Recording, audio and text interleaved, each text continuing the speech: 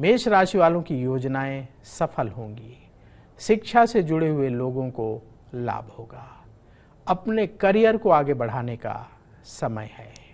अपनी वाणी का प्रयोग विनम्रता से करें।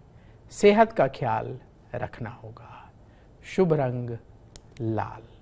उपाय, किसी गरीब को फल का दान करें।